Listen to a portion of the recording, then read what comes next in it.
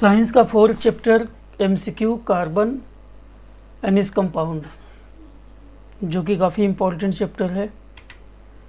और पहला क्वेश्चन है buckminsterfullerene is an allotropic form तो बग मिस्टर फुलरिन जो है, एक तरह का इलेक्ट्रोपिक फॉर्म होता है, जैसे ग्रेफाइट और डायमंड होता है तो वो किसका होता है? तो ये कार्बन का होता है। आंसर होगा सी कार्बन बक मुस्टर फिलग्रीन में कम से कम 60 कार्बन होने चाहिए और इसके बारे में कुछ बुक वगैरह में दिया हुआ है।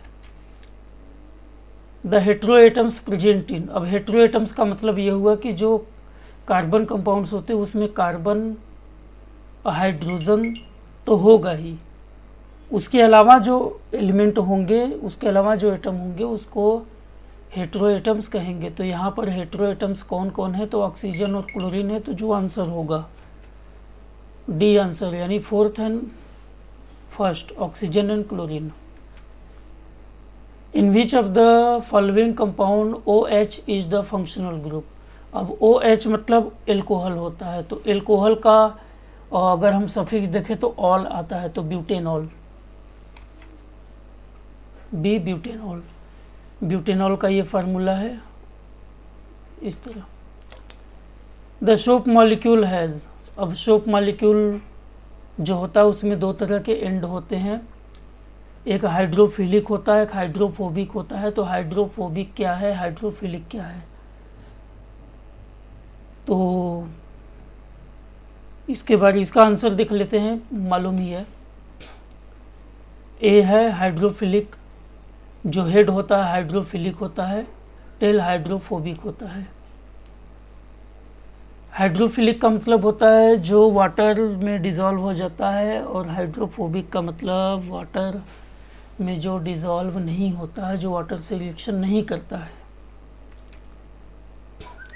अब स्ट्रक्चरल फार्मूला बेंजीन बेंजीन का स्ट्रक्चरल फार्मूला क्या होता है? तो यहाँ पे हम देख सकते हैं सी होगा, यहाँ पे अल्टरनेट करके double bond single bond double bond single bond double bond single bond और बेंजीन में सिक्स कार्बन कंपाउंड होता है, एक रिंग होती है।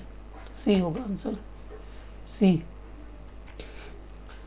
which of the following is not a straight chain carbon straight hydrocarbon अब इसमें स्ट्रेट चेन कौन है? तो ये अगर देखा जाए तो स्ट्रेट चेन है।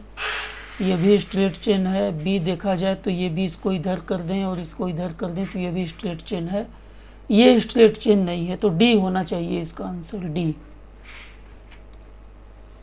which among the following are unsaturated hydrocarbons unsaturated hydrocarbons क्या है? तो unsaturated hydrocarbons are those compounds which have double or triple bonds तो डबल या ट्रिपल बॉन्ड्स जहाँ हो, वहीं आंसर होगा। तो ये है जो भी है। एट नंबर है कि chlorine react with saturated hydrocarbon.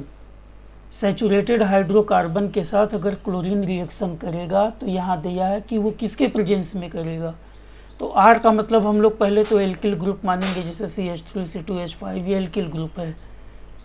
तो ये एक तरह से मेथेन है, इसमें क्लोरीन रिएक्शन करेगा तो यहाँ क्या होगा?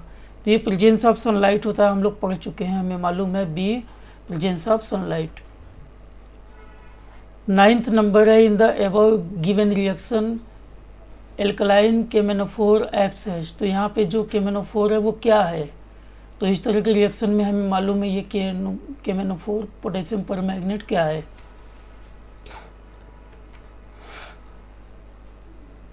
टेंथ नंबर है ब्यूटेनोन इज़ अ फोर तो ब्यूटेनियन जो फंक्शनल ग्रुप है, वो किस फंक्शनल ग्रुप में आता है ब्यूटेनियन जो कंपाउंड है, वो किस ग्रुप का है? तो यहाँ ओन है, इधर भी ओन है तो कीटोन होना चाहिए। कीटोन नेक्स्ट है कि आइडेंटिफाई द अनसेचुरेटेड तो अनसेचुरेटेड कार्बन कंपाउंड्स हम लोग बात किए हैं दैट दे हैव डबल और ट्रिपल बॉन्ड तो बॉन्ड तो इसमें नहीं दिख रहा है, लेकिन अगर नाम से देखें तो सिंगल बॉन्ड में एन होता है, डबल में इन होता है, ट्रिपल में आइन होता है। तो इन और आइन सेकेंड एंड थर्ड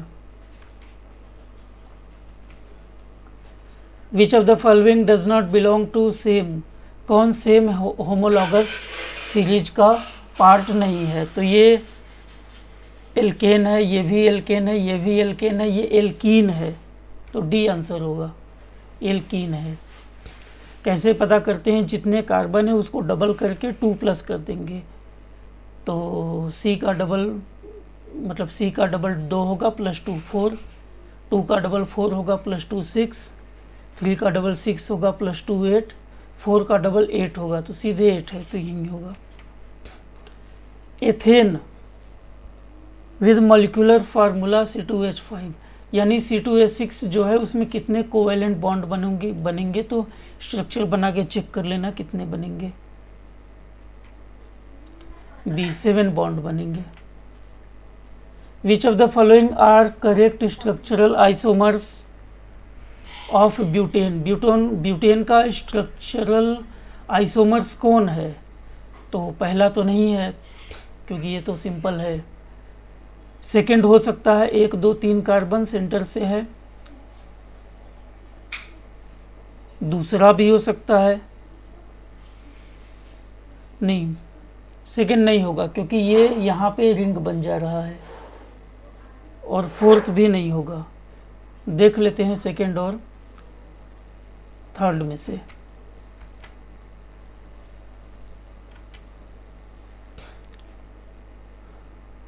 तो फ़र्स्ट और थर्ड इसका आंसर होगा, हम यहाँ पर देख लेते हैं। जैसा कि हमने देखा कि नॉर्मल सा ब्यूटेन है, ये हो सकता है। यहाँ चूँकि रिंग बन गया तो ये नहीं होगा। एक, दो, तीन, ये हो सकता है। यहाँ भी रिंग बन गया तो ये नहीं हो सकता। तो फ़र्स्ट एंड थर्ड इसका आंसर होगा। अब इसमें है कि जो सोप माइसिलीज है, यहाँ पर हम देख रहे हैं कि क्या है। ये आउटर इंड है, ये इंटीरियर इंड है। जो आउटर इंड है, इसमें आयंस है। आयनिक बॉन्ड है, जो इंटीरियर इंड है, इसमें कार्बन ये जो जिग जैग लाइन है, ये कार्बन चेन है हाइड्रोकार्बन चेन है। तो ये चारों ऑप्शन देख लो आंसर वैसे देख लेते हैं। आंसर ए है कि आयनिक एंड सोप में जो है सरफेस पे होगा और जो कार्बन चेन होगा इंटीरियर तो हमने बात किया कि अंदर होता है इंटीरियर में होता है। विनेगर क्या है? तो विनेगर क्या होता है? ये तो विनेगर पहली चीज़ तो यहाँ एल्कोहल में एस्टिक एसिड है, यहाँ वाटर में एस्टिक एसिड है। तो वाटर में जो एस्टिक एसिड होता है, वो एल्कोहल है। अब ये है कि five two six eight percent है या फिफ्टी टू सिक्सटी परसेंट है। तो देख लेते हैं आंसर वैसे मालूम ही होगा।